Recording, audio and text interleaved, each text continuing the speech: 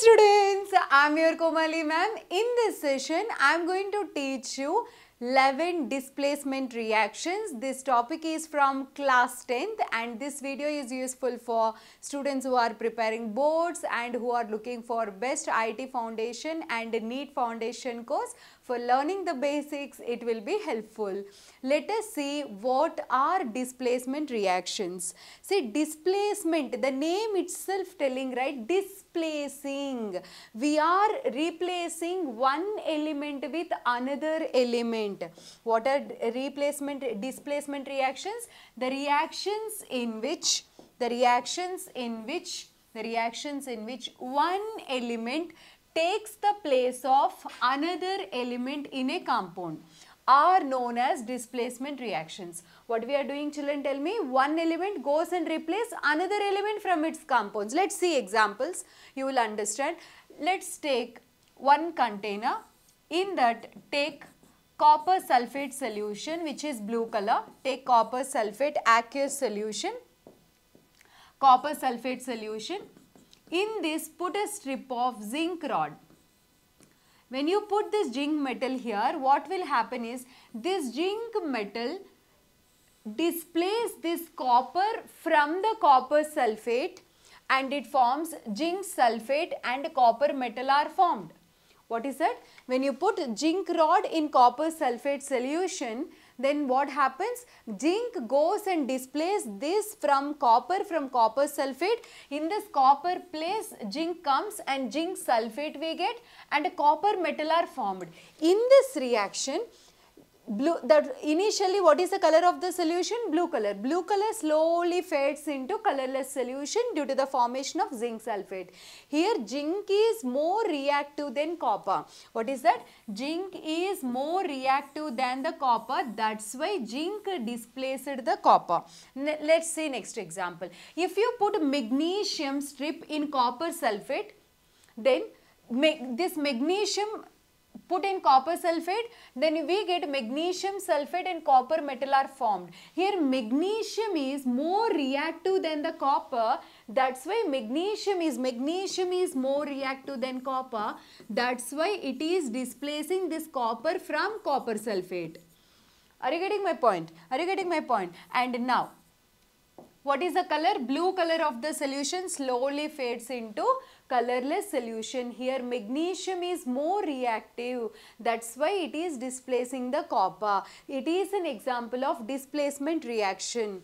Next example, take iron iron iron fillings if you take and this iron fillings you put in copper sulfate solution if you put in copper sulfate solution slowly the blue color of the solution changes into greenish solution and some amount of copper will be formed here iron is more reactive than the copper. That's why it is displacing this copper and it is forming iron sulfate. And copper metal is formed. This copper metal na reddish brown kind of PPT forms on the top of this iron uh, uh, you know fillings. Or let's do an experiment. Take iron nail. And that iron nail um, take sandpaper and uh, finely polish the surface of the iron nail take a test tube, in that take some solution of copper sulfate solution. You put this iron nail into that copper sulfate solution, leave for a 1 hour or 2 hours. After some time what happens you know, the iron nail color changes like this. Why it is iron nail? Initially the nail color is like this but you know how the color of the nail it is changing? It is changing like this. Why? What is the reason?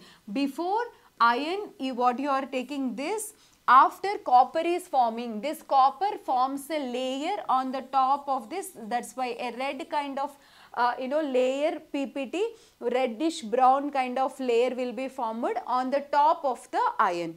Is it clear? Let's see one more. Take lead metal lead, lead metal strip you take. This metal strip you put in copper chloride solution. Once we put in copper chloride solution we get lead chloride and this copper metal comes out. Here lead is more reactive than the copper Cu that's why it is displacing that copper and it is forming copper coming out and this forming PbCl2. Greenish solution slowly fades into colorless solution. This is one of the displacement reaction.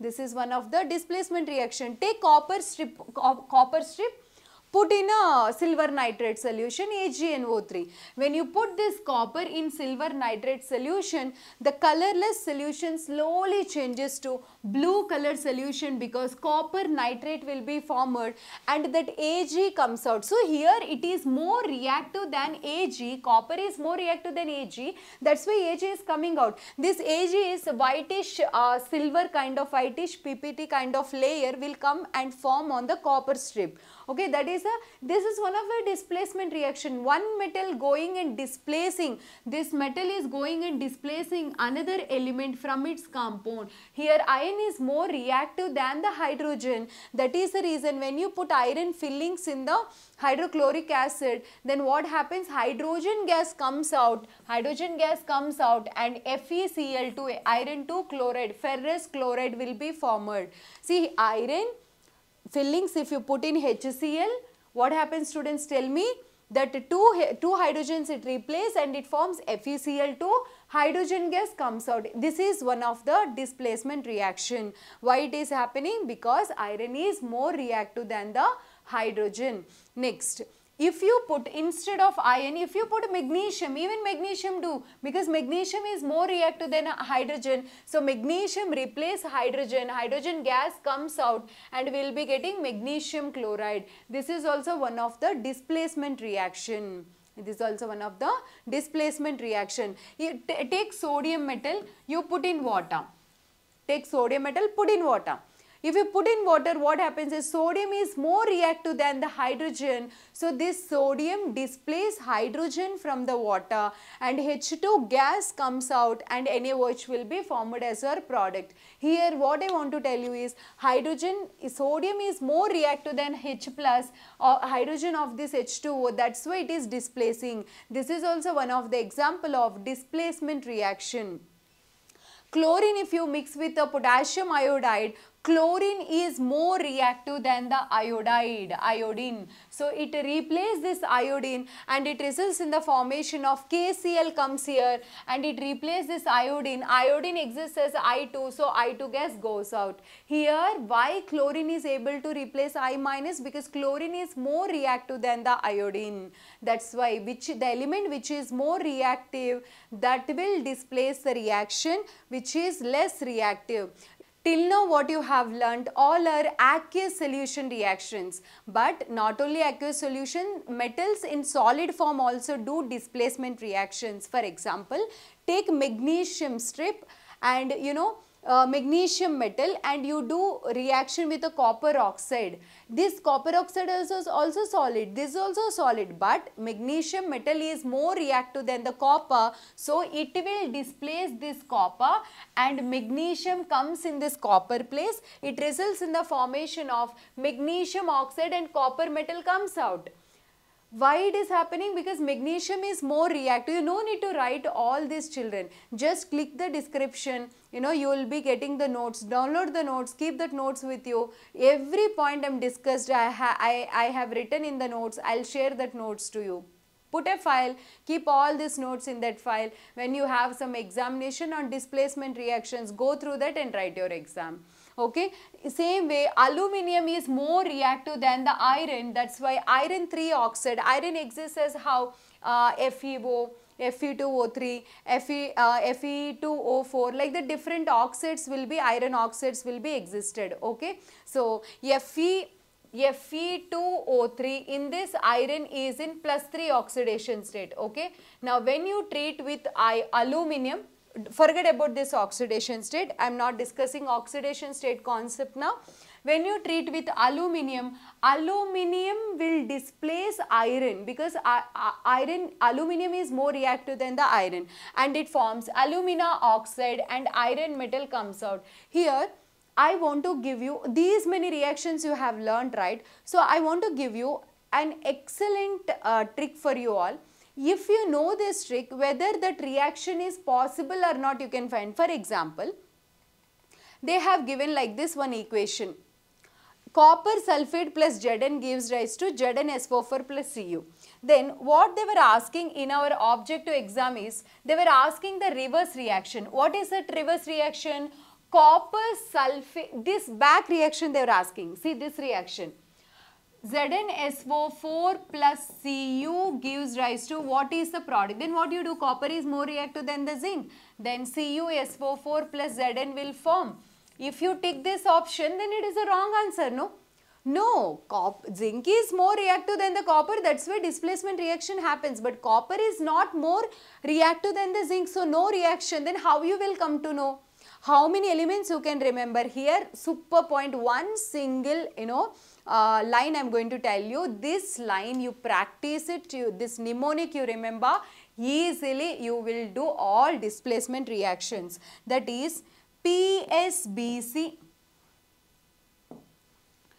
PSBC,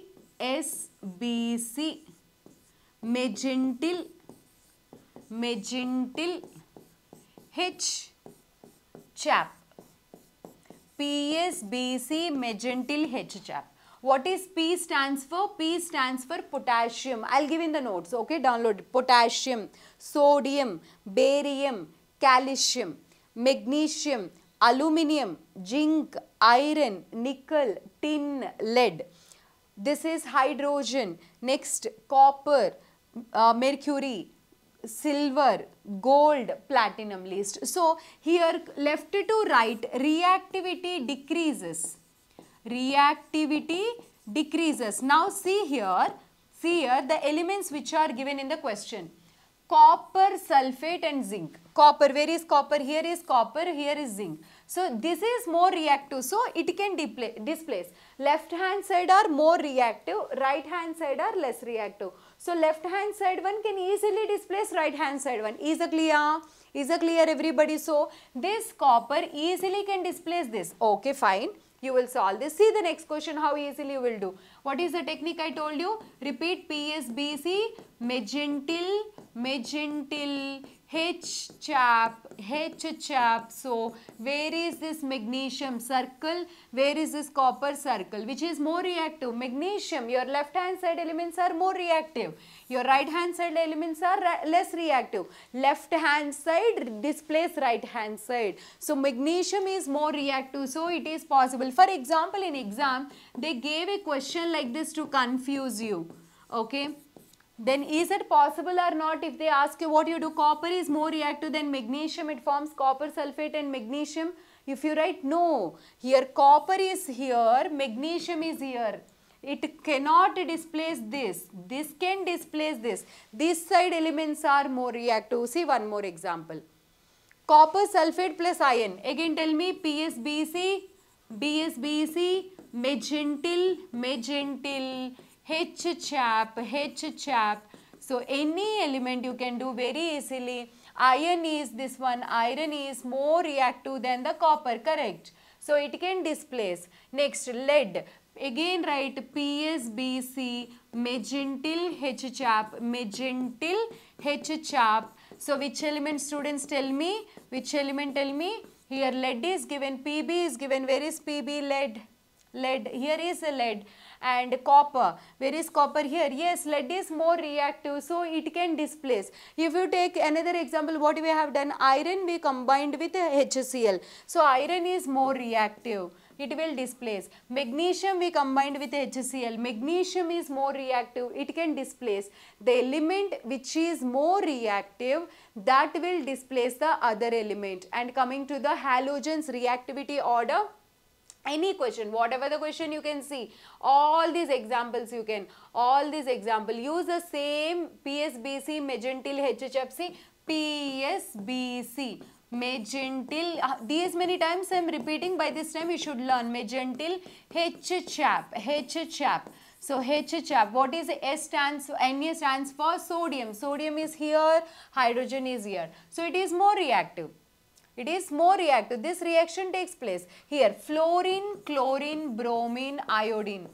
This is the reactivity order. So chlorine is more reactive than their down elements. So chlorine can displace I minus and it will form, it releases I2. It releases I2. So keep in mind which are less reactive that should come as a product that should come in as the product. Then you will get the right answer. And copper oxide magnesium which is more reactive PS BC megentillium comes first. So magnesium can displace very easily. These all are single displacement reactions. When you see displacement word only displacement if they give in the exam that is a single displacement reaction okay and if they mention only double displacement then only you should go to the double displacement. Uh, you should write it. Normal displacement means single displacement all these are single displacement reactions. In next video i'll do double displacement reactions also. In another time we will see. My name is komali. I'm your chemistry mentor. Thank you so much for watching this video. If you are watching Komali ma'am channel for the first time, subscribe my channel, like this video and let me know what concepts you are looking and put in a chat box comment session. Definitely i'll try to make a video on that particular concept. Have a nice day bye love you. See you again in next video